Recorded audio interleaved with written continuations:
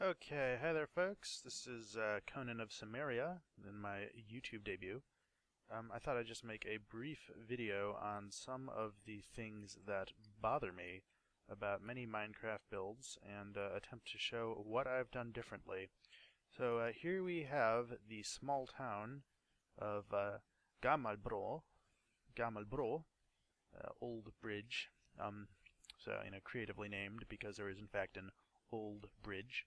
Um, it's meant to be uh, a, a, small, typical sort of farming town, as one might expect to see somewhere in uh, Scandinavia, particularly Sweden, in the uh, early modern period. So I'm just going to comment on uh, some things that I've noticed about a lot of people's YouTube builds, and uh, you know, comment on what I've tried to do differently if I if I didn't if I didn't uh, agree with you know the, the history behind it. So first and foremost. Um, fields. You can see we've got a, a lot of large fields around here.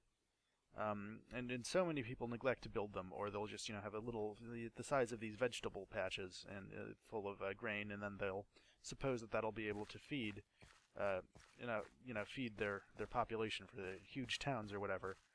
So, um, historically, in a northern European context, um, the, you know, the in the early Middle Ages, uh, there's this concept of um, the Hide, which was a land division, usually around a hundred acres or so, and that was uh, deemed necessary to support one household, so one extended family of, you know, maybe 10, 15 people, something like that.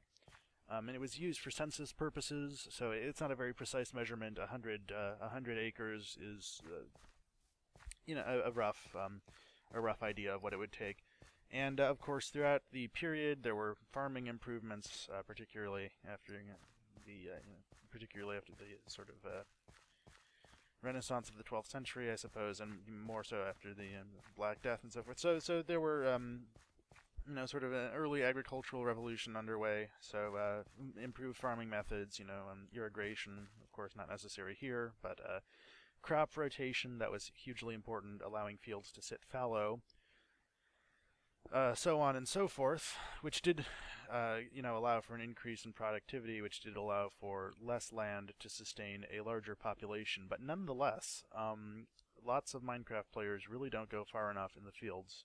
So here you can see for my town we've got one, two, three, four uh, separate fields, and I'm going to uh, going to increase that as well. So I was thinking of adding at least another one, two three fields for a grand total of about uh, seven, maybe another eighth one here. Not here, this will be the churchyard. Um, so that's going to still actually be really not very much. It'll be uh, enough perhaps to feed uh, the inhabitants of this village in real life, although I'm still a little skeptical of that, but you know, there's some compression just for playability purposes. Um, so yeah, really, guys, plant more fields. it's important. All right. Um, vegetable gardens. So these are obviously not the fields. These are right nearby the houses, and we have uh, carrots and potatoes. So uh, you can get whatever you like. Um, worthy of note, uh, potatoes were not the staple crop in the Middle Ages, and uh, really actually until the 19th century when there was sort of a concerted push to get people to produce potatoes instead. They were, of course, an American import and um, you know had somewhat limited acceptance initially. So, but uh, by the by the you know, 18th early 18th century, when uh, when this this build is, is set, you could certainly expect to see some potatoes, but they wouldn't be the staple crop. So, you know, they'd be used as maybe a soup vegetable or something like that. So, I mean, here you can see we got small plots um, adjoining the various houses, um, and so that's that's about what you'd expect. Um, and uh, of course carrots, you know, maybe uh, you'd have other uh, herb gardens or such like, but there's not really any good way to represent them here, so what can you do? Um, oh right, uh, keeping animals. So uh, often you would um, expect to see sort of a common ground or grazing area where, where all people keep their animals. Uh, this becomes less prevalent later on in the period with land enclosure, and where you know the increasing efforts by the nobility to control the land to, you know, you see an erosion of the traditional rights of the peasantry.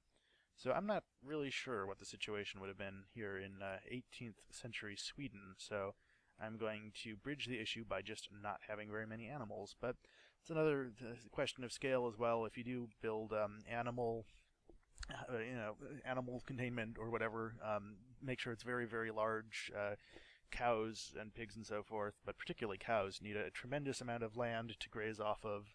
So uh, don't be stingy with that if you're going for realism.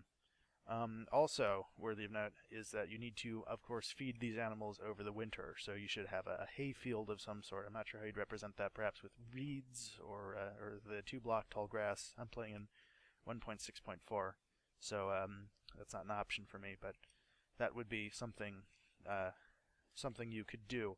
And uh, a substantial amount, actually, of the land that uh, you know would be used for farming would actually be set aside just for fodder for the animals over the winter.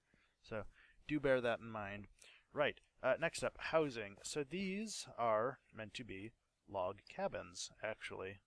Um, which, uh, interestingly enough, uh, you know, of course, for many people, they're associated with early America or you know the pioneers, settlers. Um, they're actually a specifically Scandinavian design.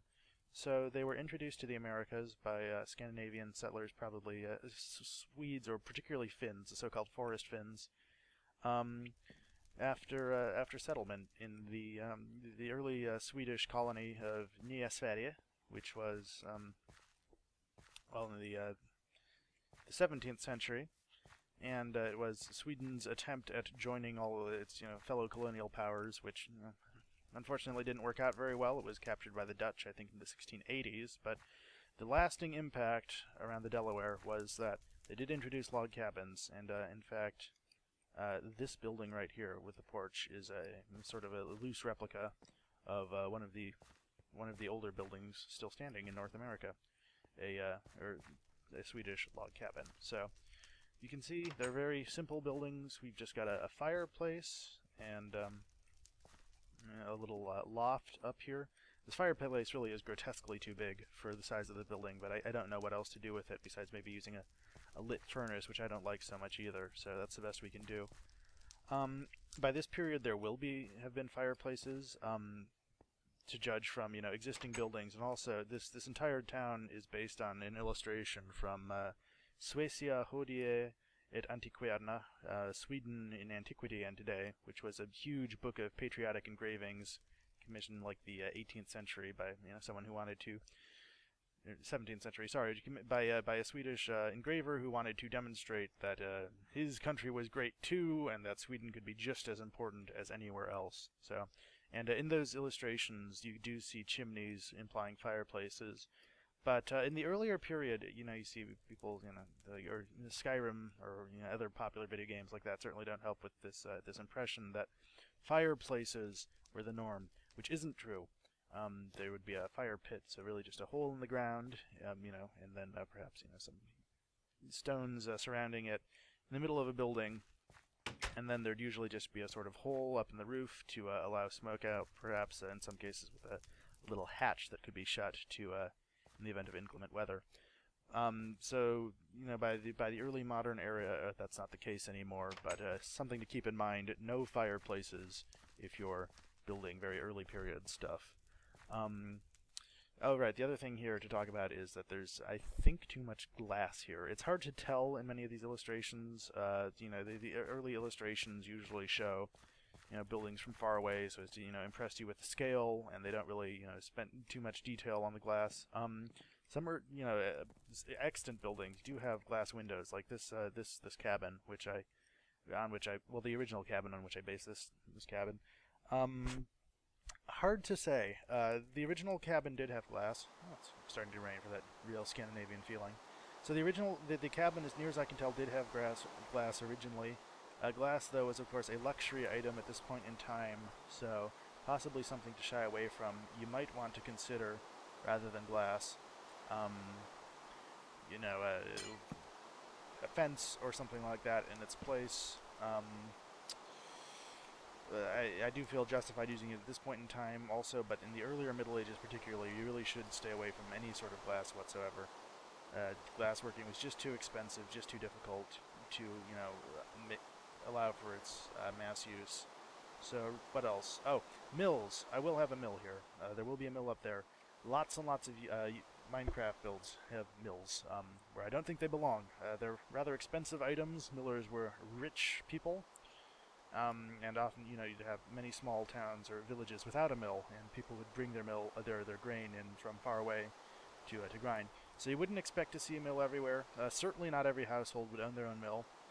Um, also, mills are a little bit later than people tend to realize. So, um, you know, in uh, the um, the earliest stages of the of the Middle Ages, uh, people most of Northern Europe was using uh, querns, I suppose, or cairns. I'm not quite sure, but it's essentially two flat rocks beneath which you which you place your grain in, and uh, well, grind up. So it's labor intensive and uh, not much fun, but a little bit, um, but you know, certainly less mechanically complicated, less of an investment than a proper mill is. So something to bear in mind.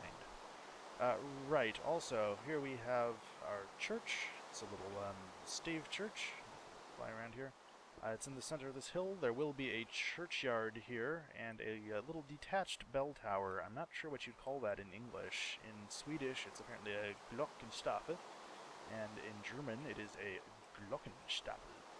But uh, in English, I have not been able to find the word. But uh, you wouldn't have a, uh, a, bell tower in many of these stave churches or whatever. Um,